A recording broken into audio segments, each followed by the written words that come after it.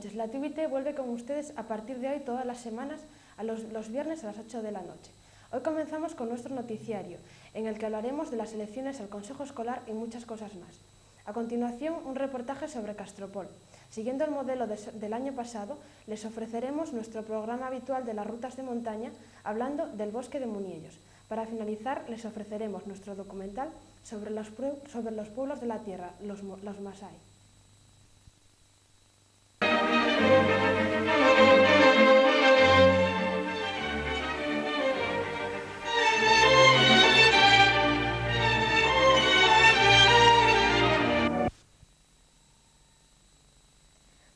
Noches. Damos comienzo a una nueva edición de nuestro noticiario, comenzando con las noticias que atañen a nuestro Instituto Marqués de Casariego.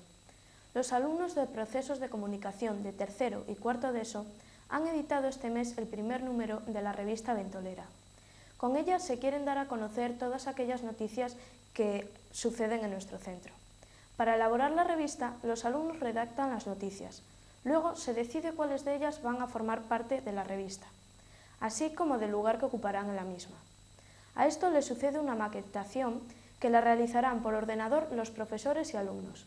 Esta revista estará en manos de los alumnos mensualmente. Dentro del proyecto europeo para el seguimiento de la contaminación del litoral en el que participa nuestro centro, se realizó el pasado 21 de octubre con un grupo de tercero de ESO una visita a la playa de los Campos, con el fin de inspeccionar el estado de la costa en este punto. En la playa se encontraron bastantes objetos contaminantes, como plásticos, botes, ruedas, todos los datos se recogieron en un cuestionario para poder compararlos con otros de las zonas del litoral español.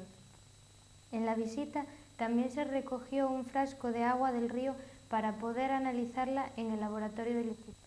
Este es el segundo curso que nuestro instituto participa en un proyecto Comenius, de la Unión Europea. Junto con nosotros participan otros centros de Finlandia, Alemania, Bélgica e Inglaterra. A lo largo de este curso elaboraremos trabajos sobre nuestro medio ambiente que cambiaremos con el resto de los participantes. El objetivo final será elaborar un CD-ROM en el que se muestre la vida de un estudiante y su entorno en los diferentes países. El pasado miércoles 28, los alumnos de segundo de bachiller nos desplazamos a Oviedo para ver la obra El Tartufo de Molière. Salimos del parque a las 4 de la tarde. A la llegada a Oviedo visitamos la exposición de la obra de Dalí, La mirada de un genio en el Centro de Arte Moderno Ciudad Oviedo. A las 8 entramos al teatro. La obra trataba de un hombre que se intentaba aprovechar de una familia acomodada con bastante influencia. Para ello conseguía la confianza de del cabeza de familia, Orgón. Al final de la obra se reconoce la doble moral de Tartufo. La obra tenía momentos de humor y de drama, lo que hace de ella una representación muy entretenida y recomendable. El pasado miércoles, debido al trágico accidente en el que se vieron implicados alumnos del Instituto de Llanes, se interrumpió la actividad lectiva al declararse día de luto en el Principado de Asturias. El Instituto de Tapia se siente abatido por la magnitud de la tragedia y quiere hacer llegar a través de esta televisión su condolencia a todas las personas afectadas. El próximo lunes iniciamos la recogida de material con destino a los refugiados de los campamentos saharauis.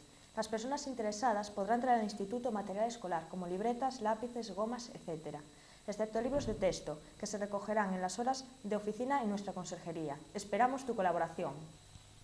Del 16 al 30 de noviembre, en la sala de exposiciones de la Casa Municipal de Cultura Teodoro Cuesta, en Mieres, Ima Hernández, nuestra profesora de Educación Plástica del curso pasado, presenta Ilusiones, una exposición de cuadros audaz y atrevida en la que combina diversos materiales, óleo, barniz, arena y que dedica especialmente a la amistad.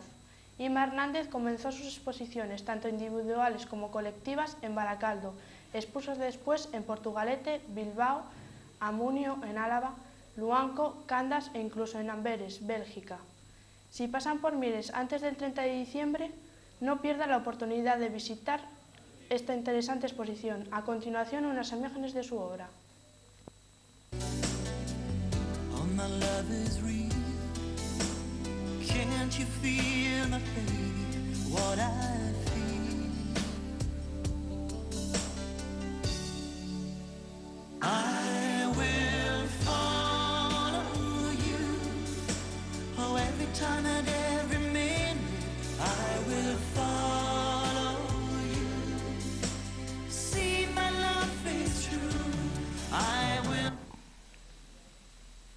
21 de octubre de 1998, en el Instituto de Enseñanza Secundaria Marqués de Casariego, se produce un accidente en el laboratorio de Física y Química. A continuación, una alumna de tercero de SOA nos comenta lo sucedido. ¿Qué ocurrió? Pues que estábamos en el laboratorio de Física y Química y que a la profesora Chelo se le cayó un bote, una ampolla de broma, de broma al suelo y se rompió. ¿Cómo reaccionó la profesora? Nos mandó desalojar rápido. ¿Cómo reaccionasteis vosotros? Nos asustamos un poco y salimos corriendo. ¿A dónde os llevaron? Al centro de salud de Tape luego al hospital a los que estábamos peor. ¿Os hicieron algo? Sí, nos dieron oxígeno, unos análisis de sangre y unas radiografías. ¿Os recetaron algo? No. ¿Estuvisteis mucho tiempo allí? Unas tres o cuatro horas, como mucho. ¿Había mucha gente grave? No, muy poca. ¿Cómo os sentíais después del suceso? Bien, aunque todavía algo asustados. ¿Pasadas ahora unas semanas estáis todos bien? Sí, muy bien. Bueno, gracias Natalia por tu colaboración y esperemos que todo haya quedado un susto. Ayer fue día de elecciones sindicales para los profesores. Además, en este mes de noviembre estamos en periodo de elecciones de representantes al Consejo Escolar. A continuación les ofrecemos una entrevista con Rafael Sánchez, el director del instituto, para hablarnos de, esto, de, estos, de estos, temas. ¿Qué es el Consejo Escolar? Eh, el Consejo Escolar es donde estamos representados todos, eh, los alumnos, los profesores, eh, el personal de Administración y Servicios, el representante del Ayuntamiento. Vamos a ver, Consejo Escolar lo integra. Eh, empiezo por el director, el jefe de estudios, tres representantes de los padres, cuatro representantes de los alumnos, eh, siete representantes de los profesores, un representante del personal de administración y servicios, los de secretaría, los de limpieza, y un representante del ayuntamiento, un representante de un concejal que, elige, que se elige en el ayuntamiento. Y también forma parte del Consejo Solar el secretario, pero el secretario tiene solo voz, no tiene voto. A la votar no puede votar. Esos somos los que formamos el Consejo Escolar. ¿Cuáles son sus funciones? Eh, todas las cosas de cierta importancia que pasa en el instituto, desde la subvención para una excursión hasta cualquier actividad de cierta importancia o una medida de, de disciplina, cualquier cosa de cierta importancia, de alguna importancia, que pasa en el instituto, tiene que antes pasar por consejo escolar. O si es una medida de disciplina, por ejemplo, algo de expulsiones o algo de esto, pues lo, se habla también del consejo escolar después para determinar sanciones. Para, todo lo importante que pasa en el instituto pasa por el consejo escolar. De ahí la importancia de estar todos representados. Por eso eh, ¿os acordáis que el día que se cerraba el plazo de presentación de los alumnos y eran las 10 de la mañana y no había nadie presentado, eh, pasé por las clases diciendo que no era bueno que os quedarais sin representación los alumnos del Consejo Escolar. Y a última hora aparecieron eh, tres compañeros vuestros que, bueno, que se presentarán. ¿Hay mucha participación? Eh, bueno, otros años, vamos a ver, participación, me dices votantes o gente que se apuntó. La gente que se apuntó, te lo digo ahora mismo. Hay un padre apuntado. Bueno, no os dije antes que el consejo no se elige entero, ahora se elige la mitad del consejo escolar. Quedan en el consejo escolar eh, los que más votos tuvieron en las anteriores elecciones. Que, por ejemplo, los representantes de los alumnos son eh, Juanel y Cristina, eso sigue en el consejo escolar. El resto, los otros dos, la mitad, eh, hay que elegirlos, hay que elegirlos ahora. Y para elegir esa mitad están presentados Iván, que es uno de COU, Guillermo, de tercero B, Guillermo Pérez García, y María Vares, de primero de bachillerato C. Esos son los tres que se presentan. De estos tres hay que elegir a dos. Digamos que sobra uno y, es, y los dos que salgan, más Juanele y Cristina, serán vuestros representantes en los claro. Cualquier cosa que eh, los delegados lo saben, y vosotros también cualquier cosa que queráis plantear al Consejo Escolar, pues lo comentáis a ellos y ellos lo transmiten al Consejo Escolar. Esa es su función. ¿Quiénes son los candidatos de alumnos? De alumnos, esto que te digo. Tú me quieres preguntar ahora por los profesores, seguro. Profesores son Víctor, lo conocéis, Marina, la conocéis, Luis Manuel eh, Gutiérrez, el profesor de matemáticas, Chelo, la profesora de química, y Elena Vázquez, la profesora de, de lengua y literatura. Esos son los cinco que se presentan para cuatro puestos que hay. ¿eh? El procedimiento es el mismo que de los alumnos. Eh, siguen tres, que son Luis García, el profesor de educación física, Gloria, la profesora de matemáticas, y Luis, el profesor de filosofía. Esos tres, como sacaron más votos en las anteriores elecciones, siguen, y los que sacaron menos votos eh, cesan y se presentan estos para la reelección, digamos. Y luego padres, padres, y madres presentan una, el APA presenta una que es eh, Miriam, Miriam Noemí. Solo hay que elegir a una, luego es la elección más fácil. ahí ya no hay lucha de candidatos. No es como los demás, donde digamos que sobra uno. Alumnos, eh, quedamos que de tres que se presentaban, solo salían dos elegidos. Luego sobra uno. Uno va a perder o uno no va a salir. Va a quedar de reserva. Porque uno de los que está apuntado es Iván, por ejemplo, que es de COU. Este el año que viene acaba y marcha. Entonces entra el primer reserva que será, vamos, acaba y marcha. Si es que sale elegido. ¿eh? Y si es que aprueba. Pero bueno, siempre queda alguien detrás que entraría de candidato de candidato suplente cuando marche el, el que más votos sacó. ¿Cuáles son las mayores dificultades que tiene el Consejo Escolar en este instituto? Bueno, eh, no hay mayores dificultades, porque casi siempre nos ponemos de acuerdo para votar todo, entonces no hay mayores dificultades. La mayor dificultad a veces es que nos queremos poner tan de acuerdo, tan de acuerdo, que para los 18 personas que formamos el Consejo Escolar, que todos digan que sí a todo, pues a veces es difícil. Pero a veces hay 17 que dicen que sí y uno que dice que no, tal, y tratamos de convencer al uno para que diga que sí también. Entonces, por eso es una dificultad. Pero no hay dificultades porque casi todas las decisiones las tomamos de acuerdo, de un acuerdo donde muy mayoritario, 15, 16 personas están siempre de acuerdo en, en cualquier cosa que se hace. La discutimos, la hablamos, llegamos a acuerdo y listo. No hay mayores problemas. Ahora vamos a hablar sobre las elecciones sindicales de los profesores. ¿Cuántos sindicatos se presentan? Aquí ya tengo que tirar de papeles porque esto es más complicado. Se presenta CESIF, que es un sindicato, UGT, que es otro sindicato, AMPE, que es otro sindicato, Comisiones Obreras, que es otro sindicato, y SOTEA, que es otro sindicato. O sea que son tres y los cinco, seis, cinco sindicatos. Se presentan cinco sindicatos. ¿A dónde se acudió a votar? al colegio, al colegio de EGB, a la escuela. Al colegio se acudió a votar de mañana y tarde. Duró la, la, la mesa estuvo abierta hasta las 8 y, hasta las 8, 8 y media, no sé. ¿Conoce el índice de participación? Eh, no, pero hoy que bajo. Siempre es relativamente, relativamente bajo. Mm, el 50% es un índice alto. Quitando, bueno, lo mezclo un poco las cosas sindicales con las vuestras, que no se debe mezclar. El índice más alto siempre es el de alumnos, eh, alumnos, bueno, alumnos y profesores. Profesores hacemos un claustro, un claustro extraordinario donde solo se trata el tema de, de la votación y votan todos. Eh, alumnos votáis casi, casi que todos. Y padres votan menos, padres votan, otros años votaban, ¿eh? este año veremos los que votan. Pero votan 80, 70, 100, no más. Y podrían votar, vota el padre vota la madre, podría votar el padre, podría votar la madre, pues podrían votar 800. Si votan 100, son pocos. Y, y las elecciones sindicales suele votar también poca gente. El 50% sería mucho votar, no creo que se llegue al 50%. Pero bueno, igual sí. Te digo lo que pasaba otros años. Este año todavía no sé qué pasa, lo que pasó. ¿Quiere añadir algo? No, no, que, bueno, que, que lo hagamos la jornada electoral, tanto la de alumnos, que es el lunes, el lunes ya, eh, el primer día de clase.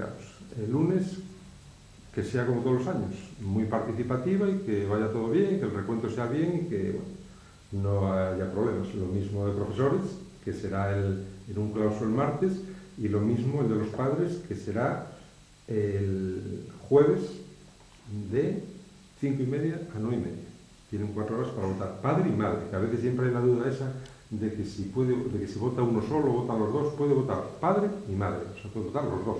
Cada alumno tiene eh, sus padres derecho a votar. Gracias por su colaboración. A vuestra disposición.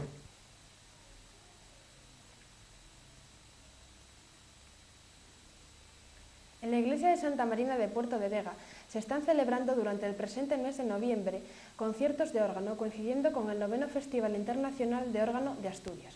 El próximo domingo, día 22, a las 12 y media, contaremos con la presencia del organista Daniel Chorcempa, que interpretará una selección de obras del Renacimiento barroco. Este festival está subvencionado por Cajas Tour y tiene como objetivos conservar el patrimonio organístico de Asturias y dar a conocer a todos los asturianos los mejores organistas del momento. El exjefe de la Casa Real, Sabino Fernández Campo, fue el encargado de abrir el pasado viernes los foros de debate que tradicionalmente organiza todos los años el Grupo Boar de Ribadeo. Los foros comenzaron el pasado viernes a las ocho y media de la tarde, con la presencia del conde de la Torres, y el tema genérico para las jornadas de este año es el poder, sus formas y apariencias.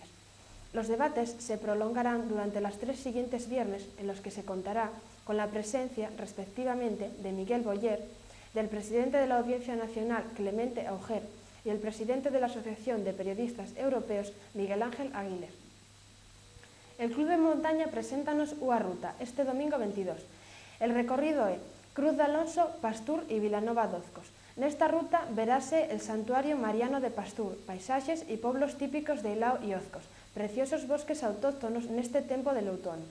Tamén haberá boa merenda nun restaurante de Vilanova Dozcos. El tapiego Rafael Cascudo fue el ganador del premio Sheira de narraciones cortas en gallego asturiano, para el relato que lleva por título Xunta de mitos. Los resultados del concurso fueron conocidos el pasado martes 17 de noviembre y el premio cuenta con una subvención de la Consejería de Cultura del Principado con una dotación económica de 75.000 pesetas. Rafael Cascudo, que fue hasta el pasado curso profesor de gallego asturiano en el Colegio de Tapia de Casariego, ya había resultado ganador secuo en la sexta convocatoria del premio. Asimismo, es coautor del libro para niños Xelín y Toxo. Este premio, que lleva el nombre de la asociación cultural que lo creó, se celebra desde hace ocho años y pretende dignificar el uso escrito del gallego asturiano, como variedad lingüística hablado en los concejos más occidentales del Principado de Asturias, y colaborar con ello a su normalización social. La próxima semana tendremos con nosotros a Rafael Cascudo para que nos hable más sobre el tema. En el auditorio de la Casa de Cultura de Vegadeo se está organizando un curso de teatro. Será un mundo de historias, con cuentos, títeres y expresión dramática. Se celebrará entre el 23 de noviembre y el 3 de diciembre, con un horario de 7 y media de la tarde a 10 de la noche. El curso será gratuito y está organizado por el Ayuntamiento de Vegadeo y Concejalía de Cultura. El domingo pasado se celebraron las elecciones sindicales en el campo. Por 11, por 11 votos de diferencia salió vencedora la organización Asaja, cuyo máximo representante, Ramón Artina, la califica de una organización profesional e independiente. Ocupa el segundo lugar UCA, Unión de Campesinos Asturianos, seguida de SAC COAG. En el, en el municipio Tapiego Asaja fue claramente vencedora, con una amplia diferencia con respecto a las otras dos. El pasado viernes se inauguró en el Instituto Marqués de Casariego un curso de lengua gallego-asturiana dirigido a maestros y profesores con una duración total de 180 horas divididas en tres fases. Este curso está organizado por la Consejería de Cultura del Principado de Asturias y será impartido por don Ignacio Vares y José Miguel Suárez. Las clases son los viernes de 5 a 7 y los sábados de 9 y media a 2. El próximo día tendremos una entrevista con uno de los alumnos. El Llanes, que jugaba en casa, ganó la jornada pasada al Tapia marcando dos goles a cero. En el primer tiempo el Llanes ya empezó dominando, hasta que en el minuto 22 anotaba el primer gol a su marcador. En la segunda parte marcó otro tanto, quedando 2 a 0 a su favor. El Tapia no tuvo muchas oportunidades, solo una falta lanzada por Cánito. Se demostró que el Llanes fue superior al Real Tapia. En las últimas semanas se celebró la cuarta feria de la fava de Castropol. Con esta feria se intenta dar a conocer la calidad de las favas de nuestra comarca, Ana Menéndez, de Canero, afirma que ella fue a la feria para hacer publicidad de su marca. Elida Seibane, de Seares, dice que su producto ya está vendido, pero que ha guardado unas muestras para exponerlas en la feria, con el fin de colaborar en sus fines. Urbano Martínez, de San Martín de Oscos, expuso fabas que sirven para cocinar con marisco, pero estas no estaban en la venta. En la feria había también cocineras porque hubo un concurso de cocinar fabas con almejas a la vista del público. Carmen Carvajales de Tapia, ganadora del concurso del pasado año, volvía este año a cocinar. Más tarde hubo degustaciones de fabas con almejas y setas, requesón y castañas. También hubo actuaciones folclóricas en las calles de Castropol. El Hospital Comarcal de Jarrio llevó a cabo su primer disparo de escáner, lo cual suponía todo un logro para la población sanitaria del Área 1 que abarca 17 concejos de occidentales de Asturias. El equipo de radiólogos en esta primera experiencia la puesta en marcha de nuevo servicio supone un avance importante para la población sanitaria de Occidente. Se trata de un escáner helicoidal de tecnología punta, que supuso una inversión de 50 millones de pesetas, y es el segundo que se instala según sus características después del de Oviedo. El hospital de Jarrio era el único que no contaba con este equipo. Los radiólogos creen que el número de usuarios aumentará, pues algunos enfermos no podían ser trasladados por su delicadísimo estado de salud. Aunque el escáner ya está funcionando, se prevé su inauguración próximamente. El pasado 31 de octubre y 1 de noviembre se celebró en Boal la tradicional Feria de la Miel, como viene siendo habitual en los últimos años. A continuación les ofrecemos un reportaje sobre esta feria. En el Instituto Marqués de Casariego, el Departamento de Francés organiza un viaje a París. En esta entrevista a, una, a, a, unas alumnas de este centro se contesta una serie de preguntas relacionadas con este tema. Tenemos con nosotros a Raquel, a Coba y a Clara, que son de cuarto de eso. ¿Cuándo surgió el viaje a París? Eh, el viaje se hizo por primera vez hace dos años y se decidió hacer cada dos años y este año nos tocó a nosotros. ¿Y cuántos vais? Vamos aproximadamente 50, algunos de tercero y cuarto ESO. ¿Cómo van los preparativos? Bastante bien, ya tenemos casi todo recaudado. ¿Cuánto dinero necesitáis sacar y de qué manera lo vais a recaudar? Eh, tenemos que sacar más o menos 30.000 pesetas y vamos a sacar vendiendo rifas, polvorones, laderas. Así que si queréis, ya sabéis. ¿eh? ¿Cuántos días vais y en qué fecha? Eh, saldremos un viernes o un sábado antes de Semana Santa y estaremos ahí ocho días, de los cuales dos serán para ir y venir. ¿Tenéis ya pensado lo que vais a ver? Vamos a ver la Torre Eiffel, la Catedral de Notre Dame, algún museo y algo Disney. ¿Con qué profesores vais? Vamos posiblemente con los de francés, con Teresa y con Emilio. ¿No tenéis miedo a manejaros en un país extranjero? No, no mucho. No, yo tampoco.